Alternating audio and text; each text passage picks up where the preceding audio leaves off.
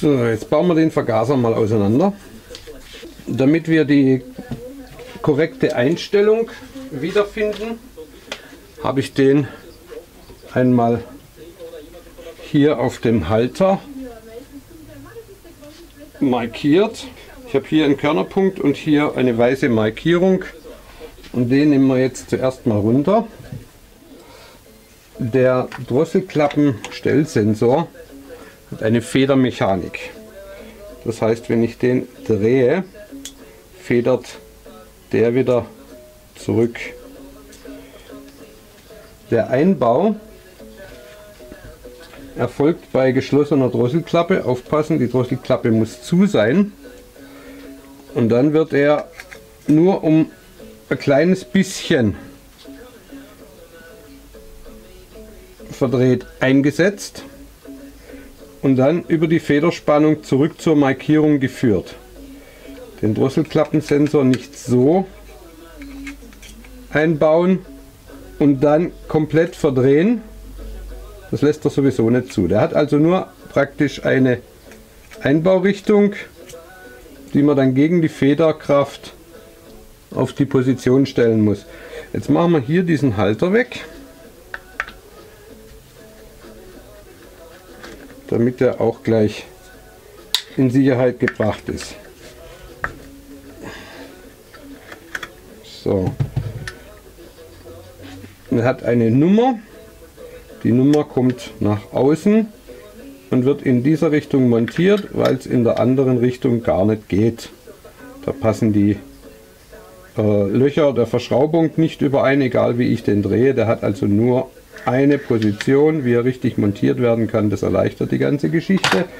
Und diese Muttern sind kleine Kreuzschlitz, Senkkopf.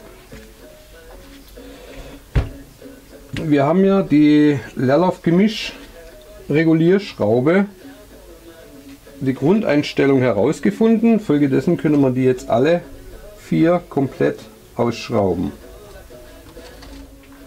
Das Merkmal dieser Schrauben ist, wie sie zusammengestellt sind.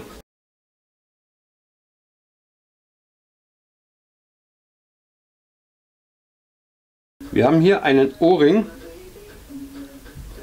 Hinter dem O-Ring ist eine Scheibe, dann kommt die Feder und dann die Schraube. So ist die Montagerichtung. Solange die Spitzen hier diese in Ordnung sind. Ja. Als nächstes nehmen wir den unteren Bügel ab. Die Schrauben sind dankbarerweise alle gleich. Folgedessen können die alle in eine Kiste. Das spielt überhaupt keine Rolle. Vielleicht mache ich da auch neue rein mit Inbus. Und jetzt kommen wir zu ein paar Feinheiten. Und die muss ich in der Nahaufnahme machen. So, ich hoffe man sieht das. Hier,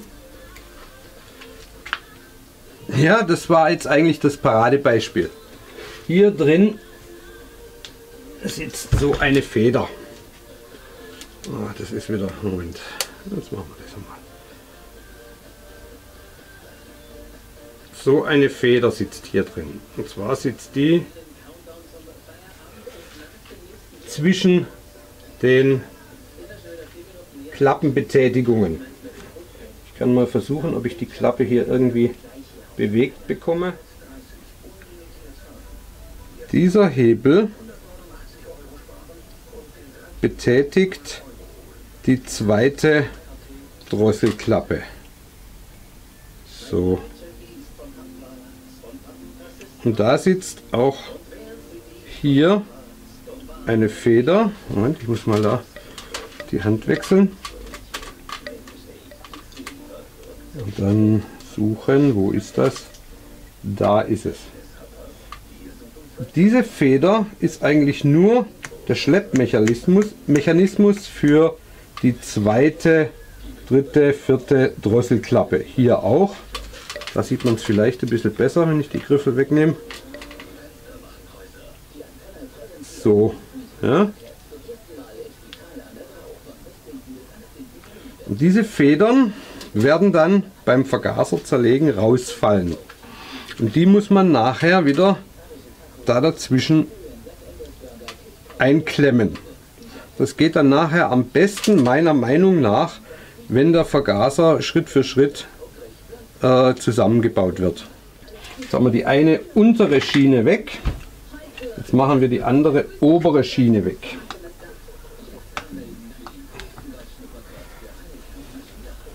So. Und vergleichen beide Schrauben miteinander und stellen fest, diese Schrauben sind alle gleich lang, sehen auch gleich aus, sind die gleichen, können alle in eine Kiste. Welche Schraube nachher wieder wohin kommt, soll hier egal sein. Die passen oben wie unten. So. Ich mache mir das Ganze einfacher. Die Profis unter euch schreien jetzt gleich wieder auf. Aber mir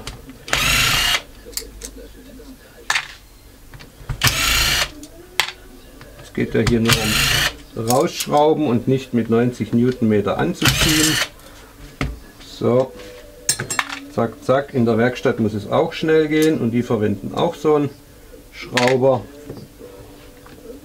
So, jetzt haben wir den Vergaser getrennt. Und jetzt kann man den auseinanderziehen.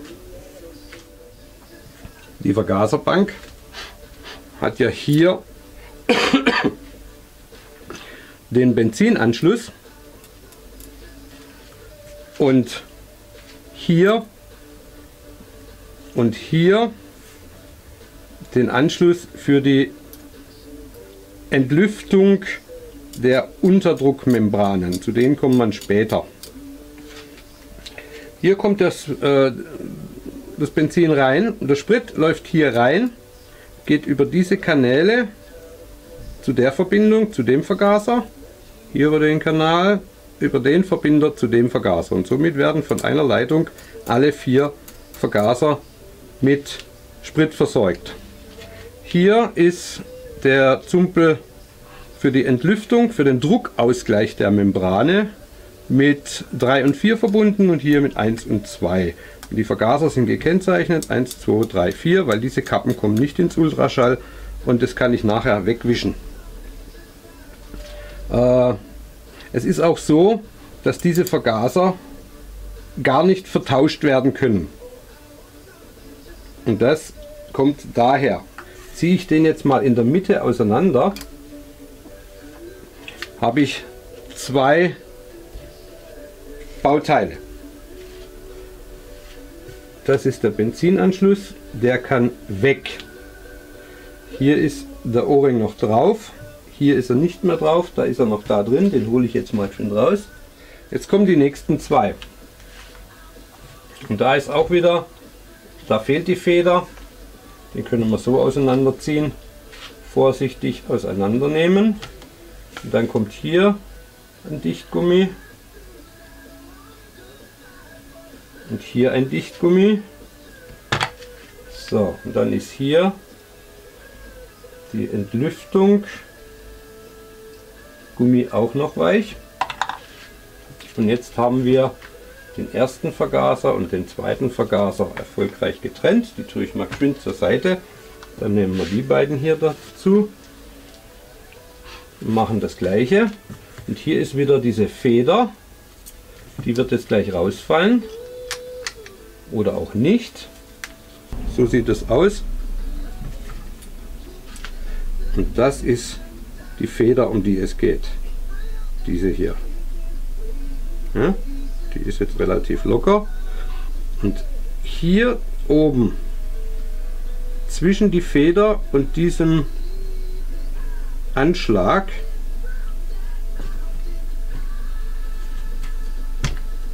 kommt die Lasche. Wir fangen mit dem vierten Vergaser an zu zerlegen.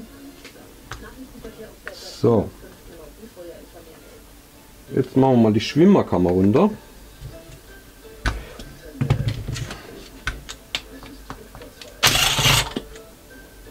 Den Finger dagegen halten. Hier auch nochmal der Vergleich. Schraubenlänge gleich, Gewinde gleich, egal, einlegen, fertig. Innen sauber, erwartungsgemäß sauber. So, ich habe mir jetzt vier Schachteln genommen, mit 1, 2, 3, 4 beschriftet. Jetzt werden wir vorsichtig die Schwimmerkammerdichtung abnehmen. Jetzt haben wir den Schwimmer, Kunststoffschwimmer. Der ist bei der Suzuki nur eingeklemmt. eingeklemmt. Es gibt aber auch Systeme, die ähm, gesteckt sind über ein äh, Splint. Und da haben wir an dem Schwimmer einen O-Ring. Da bin ich. Einen O-Ring und hier ist das Schwimmernadelventil. Dieses Schwimmernadelventil ist nur eingehängt. Geht relativ leicht raus. Und hier ist das Augenmerk.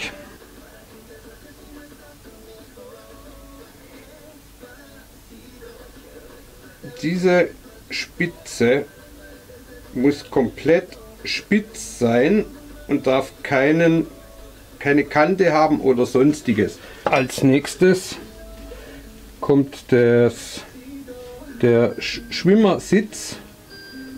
Den kann man hier rausziehen. Der hat hier ebenfalls einen Dichtring. Da sitzt dann die, die Schwimmernadel drin. So.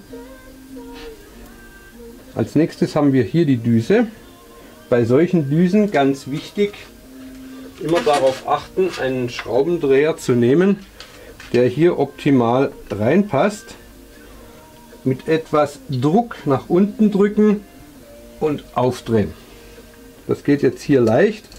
Im Normalfall macht das Klack und dann ist die Düse offen.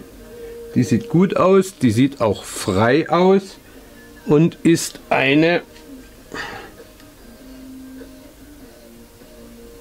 102,5. Als nächstes kommt die Choke-Betätigung. Der ist hier hinten mit zwei Kunststoffclips befestigt. Wenn man die Kunststoffclips etwas zurückdrückt, der Choke rausgehen, tut er auch. Vorsichtig vorgehen. Der Choke-Nippel hat hier einen Gummiring und hier einen Gummi. Und den müssen wir genauer anschauen, wie der aussieht. Auch wieder die Lupe nehmen und einmal schauen. Der sieht gut aus, da ist auch ein bisschen Fett drauf, das passt. Weil wenn dieser Gummi defekt ist, dichtet dieser Choke in seiner Führung hier drin in dem Loch nicht ab wenn man sich das mal genauer betrachtet, ich versuche das mal, wenn man da reinschaut, da unten eine Erhebung. So sieht man das wunderbar. Diese Erhebung drückt beim Choke auf dieses Gummi dass man da jetzt sieht, drückt bei dem dagegen und macht den Choke eigentlich funktionsunfähig, nimmt ihn aus der Funktion raus. Also auch hier drauf aufpassen, Kabel im Weg,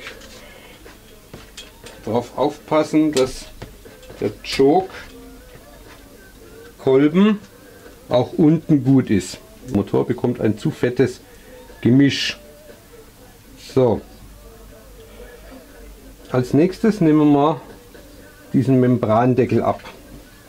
Und dazu halten wir den hier mit dem Daumen oben fest und gehen hier oben zu den Schrauben. Man hört es knacken, die sind Kommod angezogen, nicht zu fest.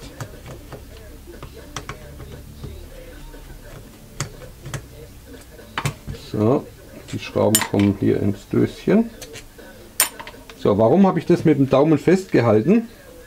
Weil da drin eine ziemlich lange Feder ist.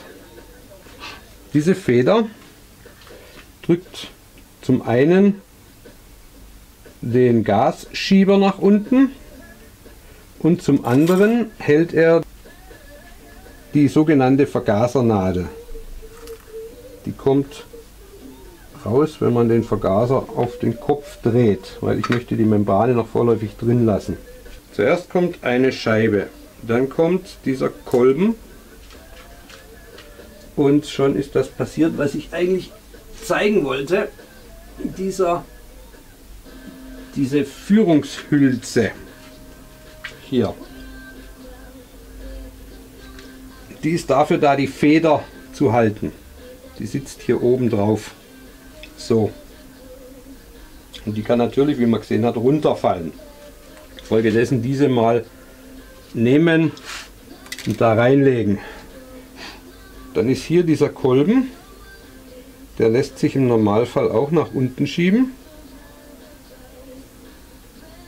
So, ein bisschen zumindest.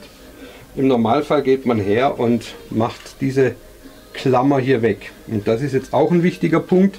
Diese Position der Klammer, die ist nämlich dafür da, den Teil- und Volllastbereich zu regeln. Je weiter diese Klammer nach oben wandert, umso weiter runter in den Vergaser geht die Nadel und macht das Gemisch mager. Und je weiter ich diese Nadel nach unten setze, umso weiter kommt sie nach oben und das Gemisch wird fetter.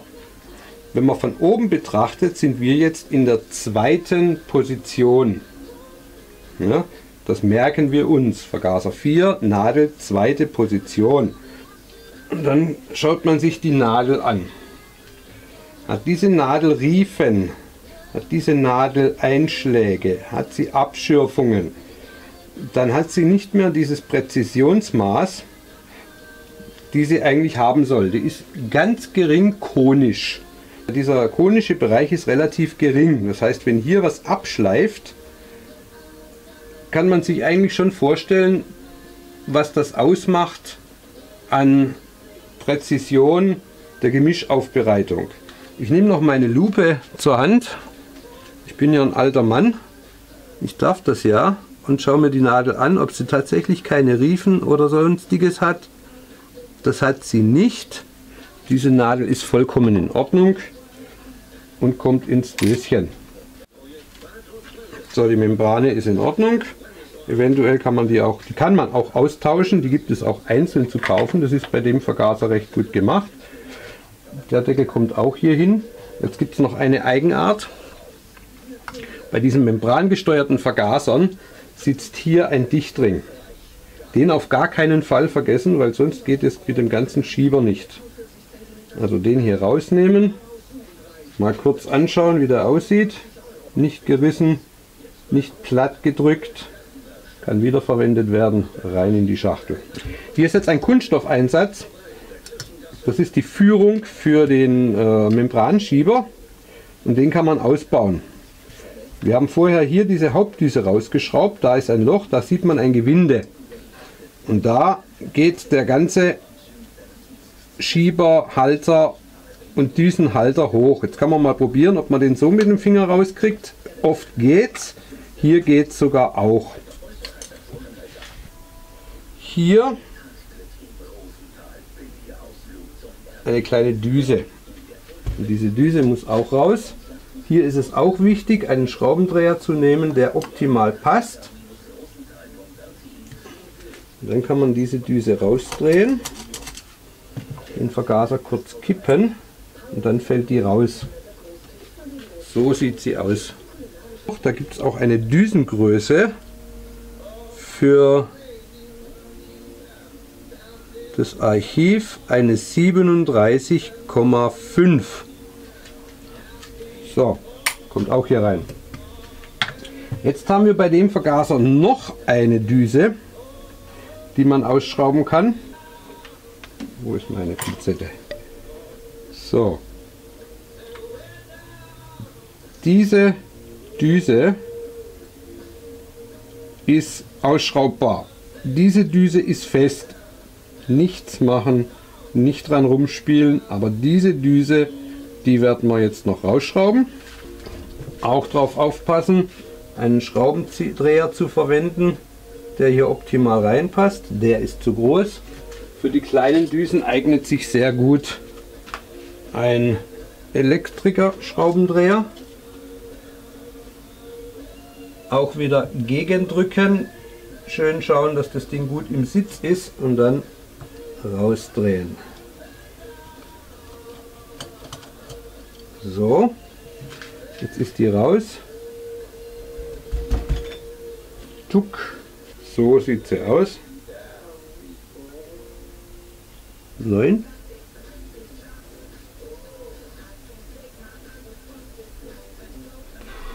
Schwer, schwer zu sagen, ob das 9, das müsste 9,5 sein. Kommt auf jeden Fall auch da rein. So, ja. Das ist also die Beute und im Überblick sieht das dann so aus.